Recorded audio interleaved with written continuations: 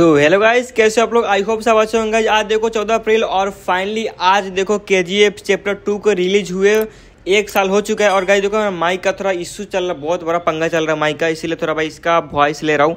तो इस, इसके लिए भाई प्रॉपर तुम लोग इग्नोर करना ठीक है गाइज़ देखो गाइज़ क्या है ना आज प्रॉपर एक साल हो गया है और गाइज़ इसके बाद क्या हुआ कि हमारा पूरा मेमोरी रिकैप हो गया के चैप्टर टू से रिकॉर्डिंग और भाई, जो भाई उन्होंने प्रोडक्शन वालों क्या, जो वीडियो डाला ना, उसके बाद भाई K G F chapter guys three आपको पता कहीं आने वाला था, आपको पता है?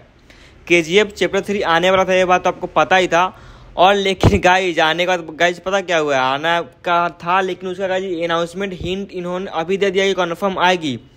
देखो भाई, आप सबको पता था कि लास्ट में क्या हो के जी एफ़ जो यानी कि हमारा रॉकी भाई जो गिर जाते हैं नदी के अंदर, वो सोना बिखरा हुआ है हर जगह, पानी पानी। आप सबको लगता है कि वहाँ एंड हो गया, मर गया आई थिंक ऐसा कुछ है। उसके बाद गाइज़ एक चैप्टर थ्री का जो खुलता है, जो कि भाई गुजबम फैला देता है।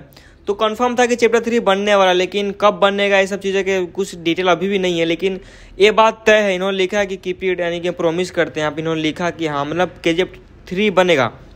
तो चलिए बात करते हैं कब आएगा और क्या कितना टाइम लग सकता है। देखो भाई, इस यूनिवर्स का मूवी और आने वाली, देखो। अभी इसका मेन कनेक्शन अगर आप देख लो सलार देख लो, अगर सलार मूवी में अगर रॉकी भाई केमियो हो जाए सलार मूवी में रॉकी भाई का अपना जब केमियो हो जाए तो समझो कि केमियो में अगर रॉकी भाई उसके विरुद्ध खड़े हो सकते हैं या फिर यश और दोनों भाई प्रभास आपस में लड़ेंगे भाई, बहुत कुछ हो सकता है। अगर सोचे तो बहुत कुछ हो सकता है। लेकिन मैं अभी बताऊँ, अभी के हिसाब से तो के जी एफ़ चैप्टर थ्री में अभी आने में बहुत टाइम अभी सोच नहीं सकते। और प्रशांत नील अभी तीन चार साल में अभी नहीं बनाने वाले यानी कि पच्चीस के बाद ही मान लो। तो प्रशांत नील उसके बीच में अभी बहुत कुछ बनाने वाले देखो यार, हमारा के जी एफ़ थ्री में क्या हो सकता है ना गाइस देखो, अभी जिन्होंने जो भी कहानी सुना रहे तो सब फेक हो सकता है। तो आप उसको बताया कि हमारे रोके भैया मर गए, ऐसा कुछ, ऐसा फेक कहानी हो सकता है। इन्होंने ऐसा क्यों किया, मुझे नहीं पता। और इसमें देखो, बहुत सारे फैक्टर्स इसमें मैटर करते हैं कि आगे क्या होगी। अभी आप रॉकी भाई को देखो तो लुक अभी भी चेंज नहीं किए आप सोशल मीडिया पर फॉलो कर रहे हो हर जगह। तो लॉकी भाई, रॉकी भाई का मतलब लुक अभी भी वही है। तो इनसे, इससे संकेत मिलता है कि कुछ बड़ा होने वाला है। और इन सब बीचों में आप बोलो कि रॉकी भाई तीन चार साल के बीच में क्या करेंगे? भाई, उनके भी मूवीज़ आएगी। मुझे लगता है कि आप सब ये सोच रहे हो कि भाई, ये अपना रॉकी विदाउट भाई के के कुछ भी नहीं है, ऐसा नहीं है। भाई, बिना के के और बहुत कुछ कर सकते हैं, बंदा मेहनती है। तो उसके बीच में बिना के से हट के उनका कोई मूवीज़ आ सकता है। अभी देखो, इस यूनिवर्स में बहुत सारे मूवी आने वाले हैं। अभी एनटीआर का वो मूवी कोई आएगा कुछ सालों बाद। तो ये सब होने के बाद प्रसाद प्रशांत जब फ्री होंगे तो के जी थ्री पर भाई चौबीस के बाद काम होगा। चौबीस के बाद आई थिंक काम होगा के जी थ्री पे।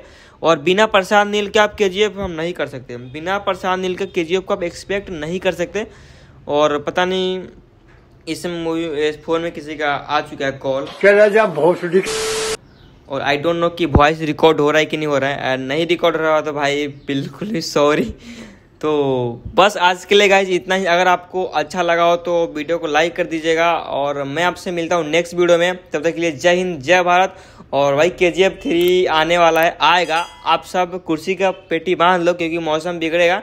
ऐसा बिगड़ेगा कि वहाँ पर कोई सुधारने वाला होगा नहीं। उनका पता है कि के जी एफ़ भाई, रॉकी भाई का अलग जलवा है। भाई, समझ रहे हो ना? रॉकी भाई कोरोना के बाद जब थिएटर में हाउसफुल हुई तो समझो कि क्या हो सकता है। सो एनी गाइज़ मिलते हैं वीडियो में। जय जय good bye I hope voice record हो गया हो। बीच में कॉल आ गया था। सो गाइज़ चलते मिलते हैं नेक्स्ट वीडियो में। Bye bye